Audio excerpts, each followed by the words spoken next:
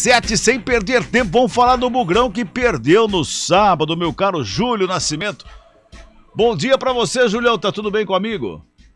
Tudo bem, Cabelo? Bom dia para você, bom dia para todos que acompanham aqui o CBN Esportes, primeira edição. Pois é, hoje, dia 18, chegou o dia de falar sobre transferências, mercado da bola, novidades nos times de Campinas, porque a partir de hoje, né, Cabela, as duas equipes pois estão é. liberadas e podem contratar, né? Que coisa! Abrem-se as janelas da esperança, né? E vou falar que não é só para as equipes de Campinas, não, viu, Julião?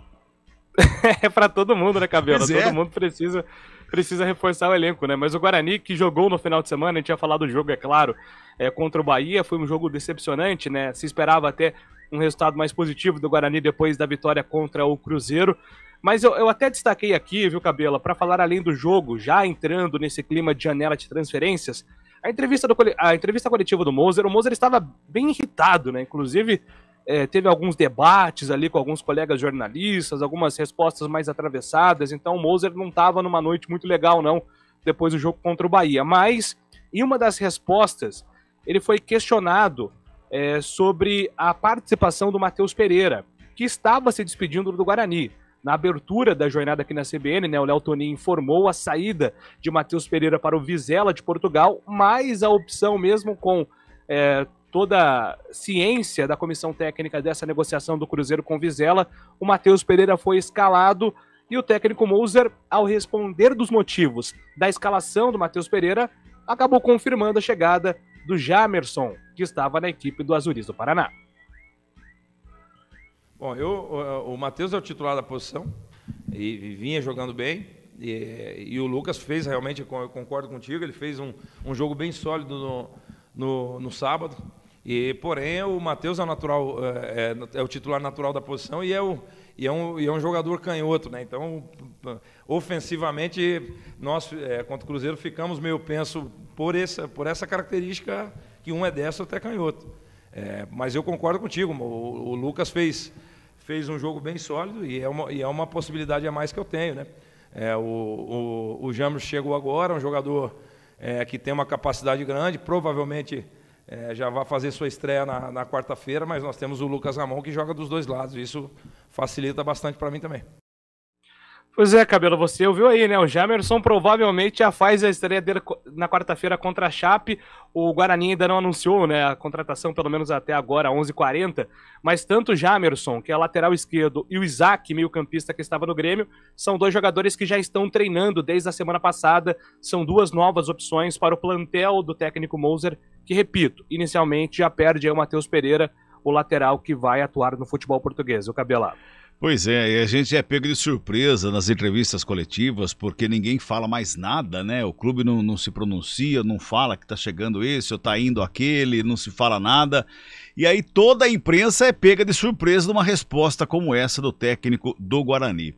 Agora, em relação ao Matheus Pereira ter jogado, a, a, o questionamento foi do Matheus Pereira estar negociado e, ser, e, ter sido colocado em campo, é isso, ô, ô, Júlio? Mais ou menos isso?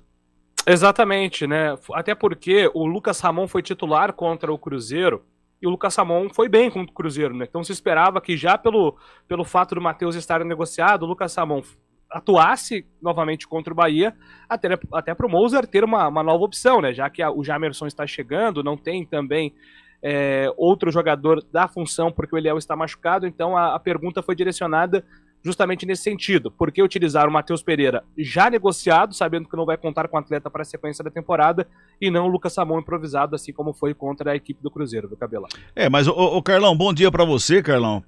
O cara faz parte do elenco, faz parte do time ainda e era a melhor opção que tinha, né? Não tem porque. Eu acho que não tem. Esse tipo de questionamento não tem que acontecer para um treinador é, no, no, no, numa coletiva, num pós-jogo. E até mesmo porque o Matheus Pereira não comprometeu em nada.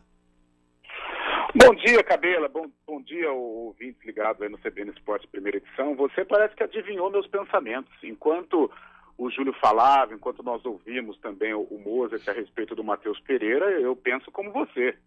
É, independente se ele estava negociado ou não, com certeza, Cabelo, o Mozart não é bobo, né? O Mozart não rasga nota de 100. Ele deve ter sentado com o Matheus Pereira, é, eles devem ter jogado as claras, né? O Mozart deve ter perguntado para o Matheus como que ele estava para o jogo, como que ele estava de cabeça para o jogo, como que ele estava fisicamente, tecnicamente para o jogo. Com certeza, se o Matheus Pereira foi para o jogo, o próprio Matheus falou que estava bem. Então, Cabela, se ele ainda, se naquele momento ele fazia parte do grupo, é, e, e, se você tem ele, o titular, dentro do grupo, e, e, a outra opção é um jogador improvisado, mesmo que ele tenha correspondido contra o Cruzeiro, eu vou de Matheus Pereira. Sabe, eu acho que de, né, falar o, o profeta do acontecido é muito fácil. Né? Então, nessa situação, eu estou com o Mozart e estou com você também.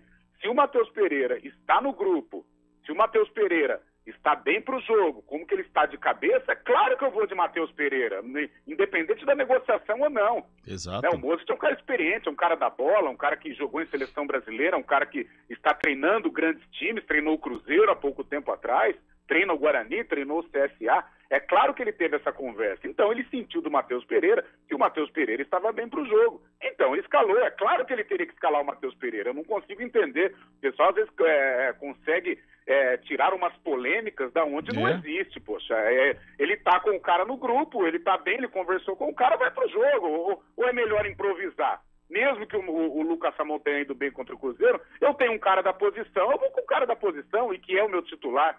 Não tem por que o, o, o, criar um dissabor em cima desse episódio. Exatamente. Agora, para o jogo contra a Chape, vamos virar já a chave aqui, que o nosso tempo é curto no, no programa aqui da primeira edição. Ô, Júlio, é, o Guarani já está trabalhando, pensando na Chape, já deve viajar amanhã, é isso?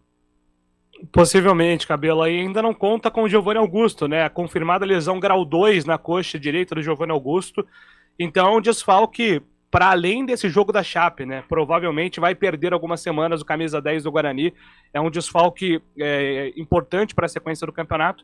E fica agora é, essa luta, né, para o Guarani conseguir é, vencer a batalha contra o tempo, né, Cabela? E, e, regularizar o mais rápido possível esses dois jogadores. O Isaac para o meio-campo e o Jamerson para a lateral esquerda são as duas novidades já para essa semana contra a Chape. Para fechar, o, o, o, Júlio, Lucão do Break e Rodrigo Andrade, tem proposta para saída dos jogadores? Foram consultados pelo Paysandu, mas não há interesse nem dos atletas e nem mesmo do próprio Guarani negociar esses jogadores, viu, Cabelo? Assim como o Vitória tentou a contratação do Lucas Venuto e também do Índio, não teve interesse do Guarani em liberar o jogador. Quem pode sair é o Rafael Martins, né, o goleiro que está na reserva.